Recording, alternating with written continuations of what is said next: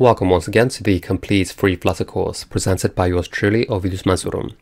In this video, we're going to continue building our UI over here from last time. So if you guys remember, last time we built just the app bar at the top, and we also had our colors in a map, and we had a couple constant variables to help us along.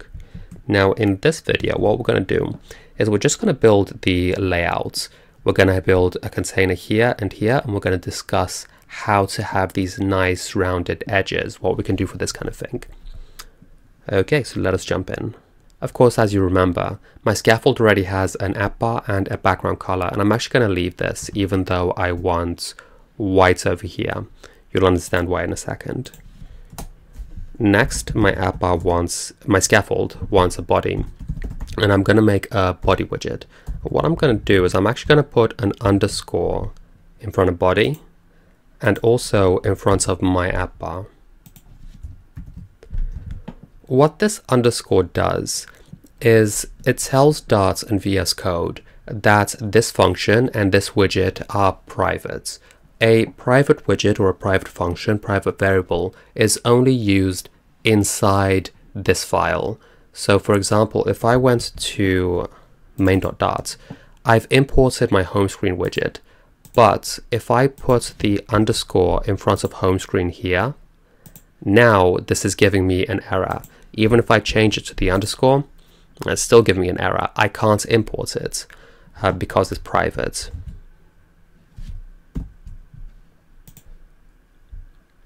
So I'm just going to get rid of that underscore here, get rid of the sidebar.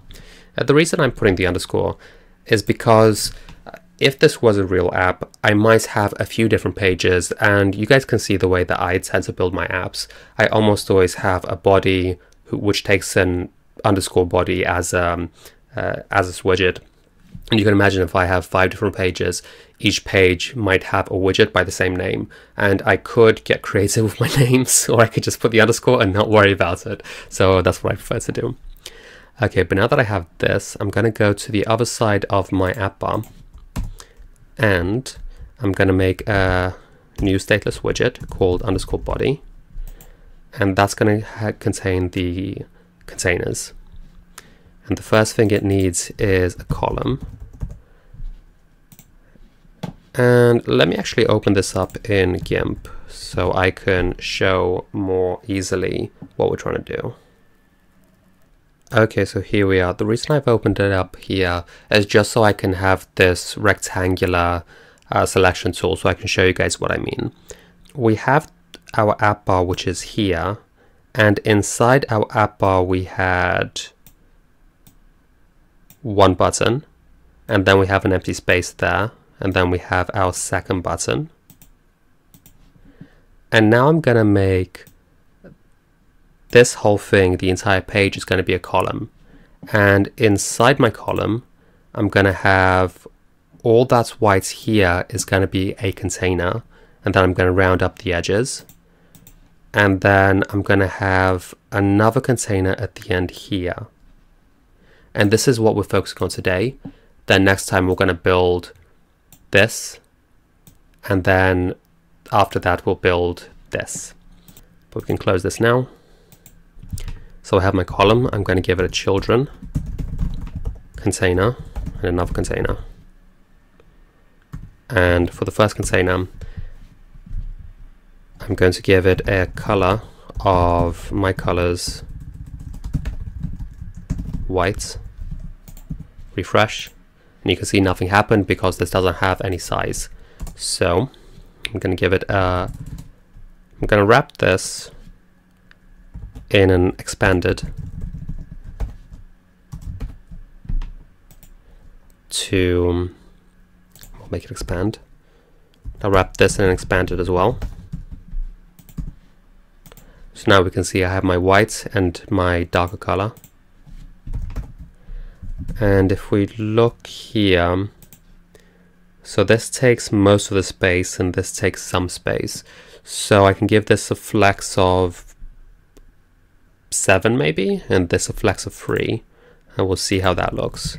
So flex 7, and this one flex 3, save, refresh, What do we think? That's about right. Maybe it's not perfect, but it's approximately correct. Uh, you will notice that this image has a longer screen than my one. Uh, the reason is that this is made for the iPhone. The newest iPhone, the and the Plus has a taller screen than most Android devices and my emulator of course is Android. Okay, leaving that aside. So now we have our container and our second container and I want to give it that nice rounded edge at the bottom.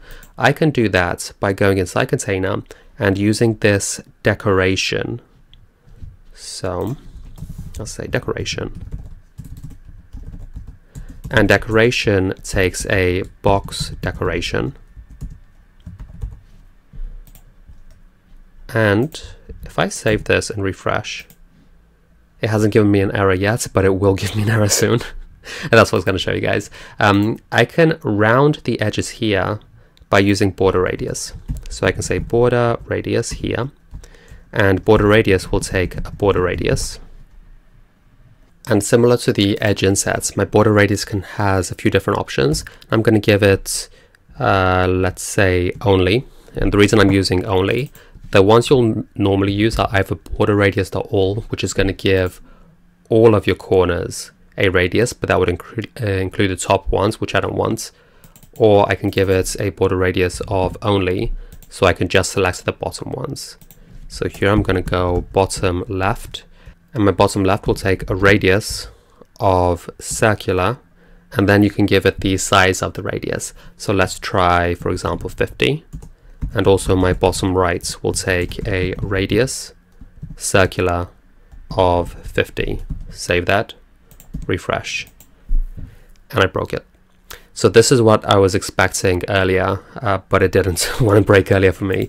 Uh, the box decoration has a color property. You can see here. And actually, when you use container and give it a color, this is just a, a shorthand way of saying decoration, box decoration, color. But if you're just giving it a color, you can see this is quite a lot of uh, code to type. So Flutter's trying to make it easier for you so that you don't have to do that. But then if I do have a box decoration, and color of course is a shorthand for box decoration, then Flutter gets a bit confused. So I'm going to have to copy this and put it inside my box decoration instead. And then when I refresh this, now it's going to work. And you can also see that it has the nice edges. So that looks, uh, let's check maybe this isn't quite perfect. My edges are a little bit bigger than they should be. So what I can do is go back into my VS Code and I could try 40 for example and save this, reload this. Yeah, that's about correct. Maybe it's a tiny bit smaller, maybe it's 35. Save it, refresh. I think 40 was actually closer. so put it back as 40, refresh it, and yeah, we'll just accept this. Okay, so there's a few things I want to point out about what I've done so far. So notice that we have two containers, one with a white background and one with this pink background. Well, when I give the border radius, I can create a circular corner, but I cannot create the opposite kind of border. I can't make it come out. So if I wanted to start with the dark purple or dark pink, I can't make it go upwards like this. And this is why I had to give my scaffold, where is it? Yeah, my scaffold a background color of my colors primary because this makes everything in the back uh, this dark pink. And then once I have that I can create a white container on top of that. Because what's underneath the white container is going to be this part and this part and that's going to be the default scaffold color. So as a result my container here I don't need to give it a color but if I did want to I could. Now what I mean exactly is if I gave this a color of And let's just choose colors dot black. And this should have a capital. You can see it doesn't include these little pieces coming out here.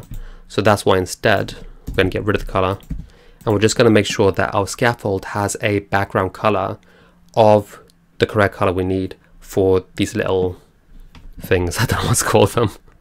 the things coming out.